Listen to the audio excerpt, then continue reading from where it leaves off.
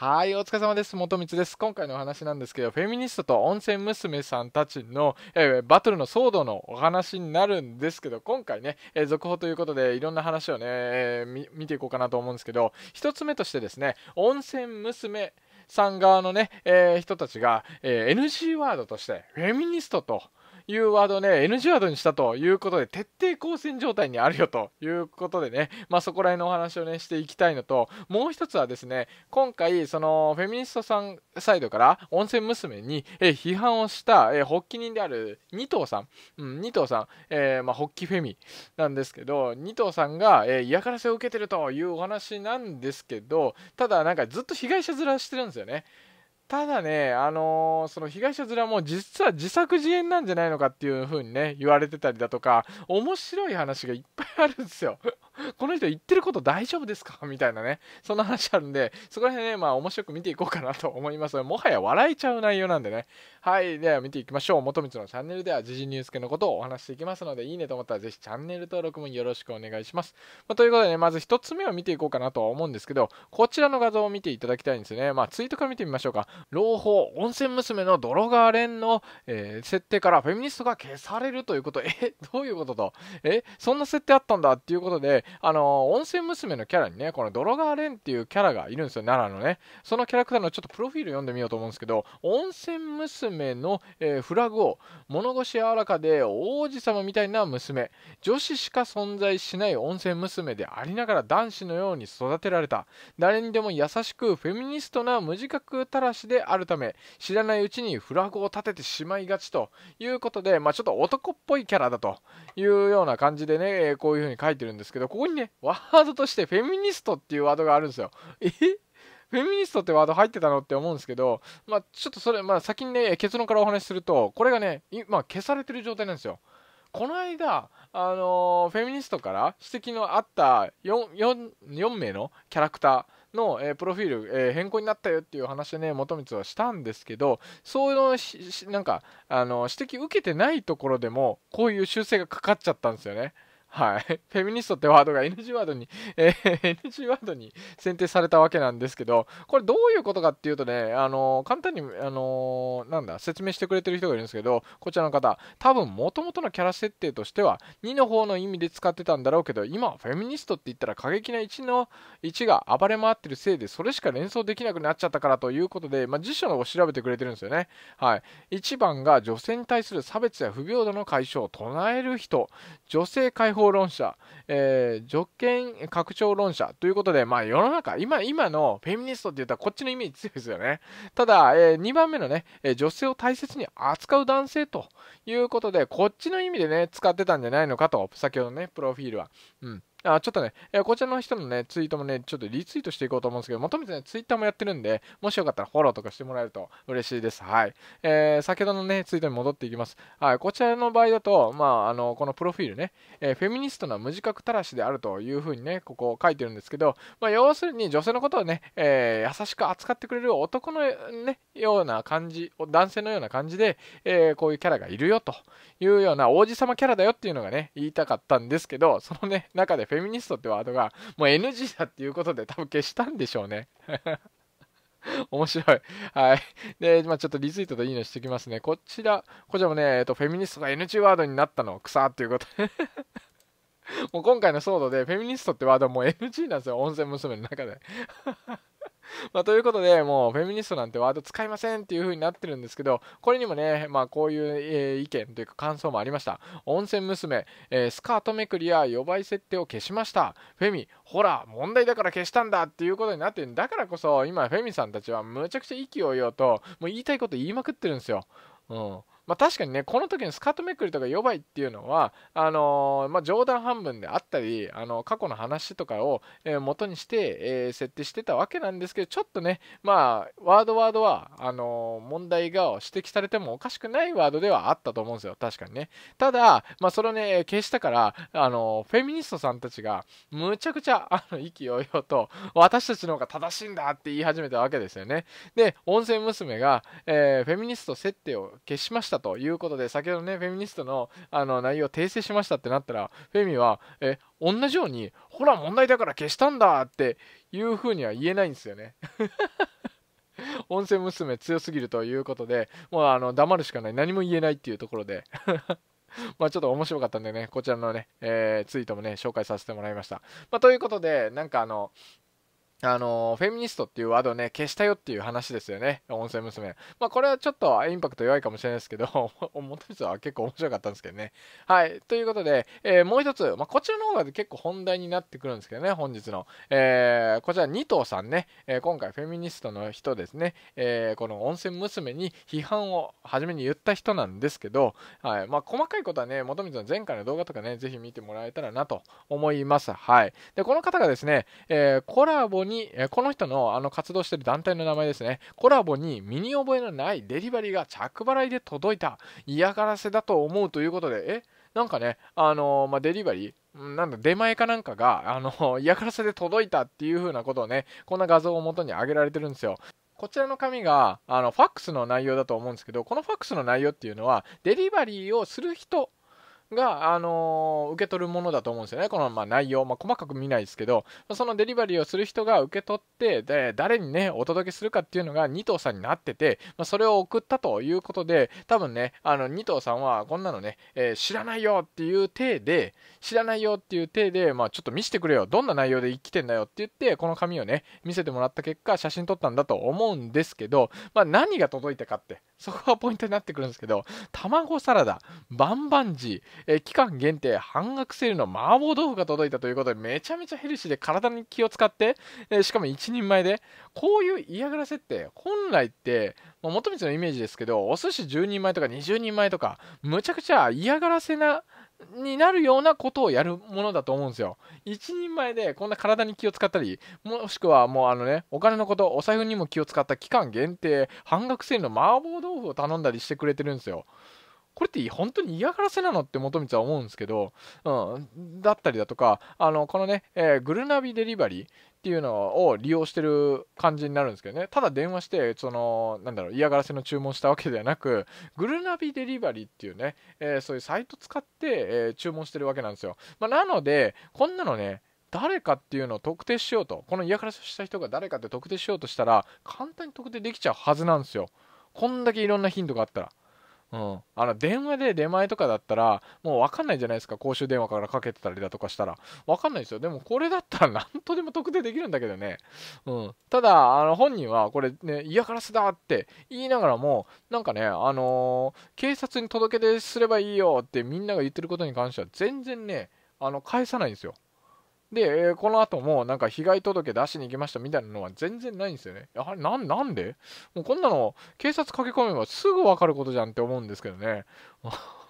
まあ、このね、えー、内容について突っ込んでくれてる人がいるんですよ。まあ、的確ね。はい。まあ、こちらの人を見てみましょう。はい。えー、地元愛さんっていうのかな。えー、突っ込みどころ、電話番号が割れている。これは一般社団法人コラボの公式サイトから引用した電話番号なのか？っていうことで、えー、どういうことっていうことでね、先ほどね、画像のアップがあるんですけど、こちら、えー、お届け先情報の電話番号が090からね、ここ隠されてるんですけど、うん。あのー、お届け先はね、会社名で、えー、その二藤さんの会社会社名、まあ、場所になってるんですけど、その電話番号、これ090なんですよね。え、会社の電話番号090なの？うん。会社の番号だったら、あのー、サイトとか見て、あのホームページ見たらあの出てくるのかなと求めて思ったんですけど090なんですよねしかもあの調べてみても全然ね一般社団法人の電話番号出てこないですけどね、うん、このコラボのねまあ、ということで、まあ、とにかく090の番号は出てこなかったんですよ。なので簡単に調べて出てくるような番号じゃないんですよね。完全にそのコラボ内の誰かの携帯電話なんですよ。もしくはね、会社用の携帯なのか何なのか分かんないですけど、うん、誰かが使ってる携帯番号なんですよ。え？そんな電話番号が簡単に割れてんの？それはそれで問題ですけどね。まあ、内部的な人なんじゃないのかな？関係者じゃないのかなっていうのがすぐわかるんですけどね。で、しかも楽天グルナビデリバリーで？うん。不思議っすよね、これ。まあ、先ほど求めてお話しましたけど、電話1本でやればいいんじゃないって思うんですけど、なぜちょうど1食分？麻婆豆腐が期間限定半額セールイン？まあね、誰がどう見てもね、ツッコミどころ満載なんですよ。これで嫌がらせ受けたって言ってるんですけど、嫌がらせにしては電話番号を割るほど悪質なのになぜこうも随分と優しいのか 本当そうですよね。電話番号をわざわざ特定するというか、まあ、ね、なんとか、えー、入手して送ってくる割には 届けてる内容がむちゃくちゃ優しいっていうね、なんともなんか矛盾した内容になってるんですよね。これ本当なのって。え、もう変な、だからネット上でね、本人が自分で注文したものをなんか嫌がらせっていう体にしてんじゃないのかっていうふうに言われてるんですよね。まあ、ただね、まあ、断定はできないですよ、元光も。わかんないから。断定はできないんですけど、まあ、グルナビデリバリーも2回目以上使ってたりだとか、まあ、履歴が残ってたりするわけじゃないですか。絶対バレてるんですよ。こんなんね、あの、警察に持ってったらすぐバレるんですよ。なので、あの、本当に被害あってるんだったら、実際被害届出して、これ見てもらってくださいよ、ニトさん。面白いっすよね。これで被害者ぶるんですよ。うん。まあ、本当なのかもしれないけど、ちょっとね、信憑性に欠けるよね。意味不明だから。うん。これだったら求めてる、まあ、これ、この程度だったらありがとうぐらいで終わるレベルですけどね。嫌がらせじゃないよね。はい。まあ、ということで、まあ、こんな嫌がらせがあったよっていう二藤さんね、さらにこれをね、引用リツイートして、こういうことも喋ってるんですよ。実際の活動や、えー、生活にもか攻撃の影響が出始めている。昨日、えー、深夜開催の家に帰れず夜の街をさまよう10代少女向けのバスカフェの前にも温泉娘を擁護したいらしき男がうろついていてそれを知った制作種斡旋業者に大変ですねと言われた。ひどい状況、えー、危なすぎる。安全確保のた,、ま、ためまたお金がかかるというふうにね。私はねまあいろいろ被害を受けてて被害者なんですよ今現在。でなんかそのねまあボディーガードじゃないけど、まあ、そのためにねいろいろお金かけて例えば、まあ、タクシー乗るだとかいろいろ工夫しないといけないんだよっていうふうな言いたげなんですけど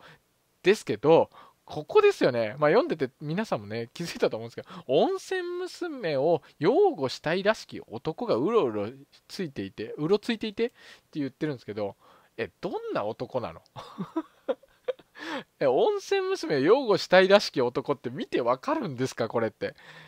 えまあまあ、あの、例えば T シャツで温泉娘のキャラクター着てるとかだったらわかるんですけど、まあ一般的に考えて、そんな人なかなかいないですよね。まあ実際好きだったとしても。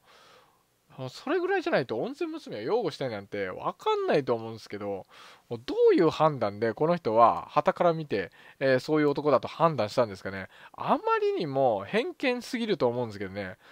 どういうレンズでこの人は世界が見えてるんですか。マジでびっくりなんですけど、まあ、ここにねいっぱい突っ込む人が現れるわけですよ。まあ当たり前ですけどね。いやもう本当に大丈夫なのか。擁護したいらしき男って何？額に温泉マークでもついてんの？肉マークとかじゃなくて温泉マークついてんのとか。まそうじゃないと分かんないですよね。えー、こちらもあるんですけど、温泉娘を擁護したいらしき男がうろついていてって、見ただけで分かるとか、デスノートの世界観かよって。え死に死神だっけ？悪魔と？あの契約してるってことですかね？死神だよね。デスノートの世界観かよってね。もう名前とか分かったりだとか。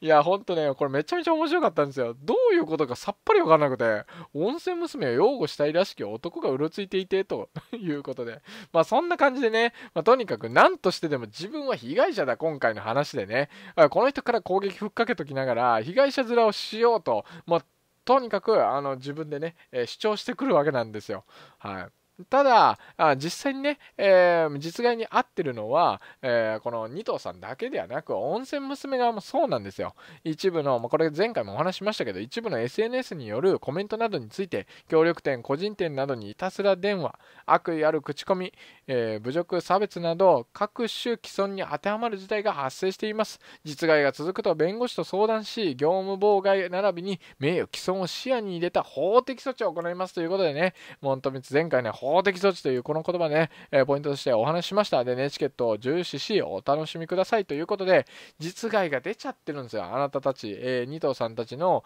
えー、まあ、攻撃によって。うんまあ、それを話し合いで解決していけばいいと思うんですよね。あのフェミニストっていう存在を求めて全否定はしないです。ただ、そのね、えやり方が問題あるよと。ただただ攻撃的に、えー、まあ、そこを否定しまくるっていうのは、こういうことになっちゃうんですよね。うん。で、しかも、あのそのフェミニスト寄りの考えの人なんだと思うんですけどね、こういういたずらをする人。うん、じゃないと、この、えー、なんだ、温泉娘サイドにいたずらなんて基本的にはしないと思うんでね。とか、まあ、前回ね、紹介させてもらっったなんだろうな悪意のある口コミ、うん、もう明らかに事実かどうかもわからないようなことを妄想みたいな感じで言ってること。ヤクザがどうだとかなんだとか。まあそういうところもそうなんですけど。まあとにかく実害が出ちゃってる状態なんですよ。被害者ってね、えー、その二藤さんだけじゃないんですよ。うん、で、まあそんな中、元光ね、いろいろ見てたら、こういうツイートがあって、むちゃくちゃ、あのー、まあ、この、なんだろう、共感できたなっていう話があったんですよね。この柴田さんって方がいるんですけど、この方もね、女性と性表現についてね、いろいろ発信だとか活動してる方なんですけど、うん、あなたの活動が、これね、二藤さんに向かって言ってるんですよ。あなたの活動が大勢の人たちの支援や協力、信頼で成り立っているように、音声娘のコンテンツだって大勢の人たちの支援や協力、信頼で成り立っているんです。えー、でも今、双方が攻撃にさらされています。互いを罵るのではなく、自分たちだけが被害者でもないという視点から考えてもらえませんかということでね、もうほんとね、あのー、土星論だなと元光はね、これ思ってね、共感したんですけど、うん、すごいなんか考え方、この人もね、女性と性表現についていろいろお話しされてたりするみたいなんですけど、めちゃめちゃ言ってることね、あのー、共感できるなと思いました。まあ、こういう人だったらね、どんどんどんどん進めてほしいなと思うんですけど、こちらもね、リツイートでいいねしときます。はい。まあ、このようにね常に被害者面で考えてるんですよ。フェミニストさんたちって、まあ、石川由美さんたちもそうですけどあの人たち自分で攻撃しておきながら、えー、自分たちが被害者と。誹謗中傷を受けてんだってわけのわからないことを言い始めるんですよね。で、えー、温泉娘さんサイドからしたら、今回ね、法的措置取りますって言ってた湯原温泉さんからは、えー、今回の騒動に関しましては、湯原温泉のしかるべき組合、団体より異議申し立てを進めていくため、ファンの皆様におきましては、過度な発言、社会的制裁を行うことは望みません。願わくばご理解、ご協力のほどお願い申し上げますということで、ね、えー、その、今回の二藤さんに嫌がらせとかあるのが、えー、音声娘さんの擁護する人の可能性が高いわけじゃないですか。そういう人たちに対して音声娘さんからも、えー、そういうことはやめてください。ファンの気持ち、うん、気持ちはわかるんですけど、えー、私たちのためにね、えー、そういろいろね嫌がらせみたいなことはねやらないでくださいよということをね、えしっかりと言ってくれてるんですよ。でもフェミニストさんたち側からそういうのがないわけですよ。自分たちで抗議しておきながら。うん。明らかにダメなことはやっちゃダメだよっていうのを言ったりはしないんですね。まあ、それをね、止めようとはしない。うんまあ、そこら辺もね、ひどいですよね。攻撃して攻撃して攻撃して、うん、相手がま営業とかもしづらいような状況まで追い込んでいく、このやり方っていうのは間違いでしょう。自分たちが思うその不愉快だとか、あのー、まあ、社会的に見てもちょっとそのね活動はおかしいんじゃないっていうのが言いたいんであればちゃんと話し合いでね、えー、帳尻合わせていくとことがことが大事なんじゃないのかなと元光思います。はい、まあ、ということで、えー、今回のお話ね以上になります。まあなんかね途中二藤さんのねお話とか見ましたけどかなり偏見的に見てるんじゃないのかな。差別的に見てるのはそっちなんじゃないのかなと個人的には思うんですけどね。まあ毎度毎度思います。フェミニストさんたちに対しては。はいということで皆さんの意見もねぜひお聞かせいただけたらなと思います。元光のチャンネルでは時事ニュース系のことをお話していきますのでいいねと思ったらぜひチャンネル登録もよろしくお願いします。本日もご視聴ありがとうございました。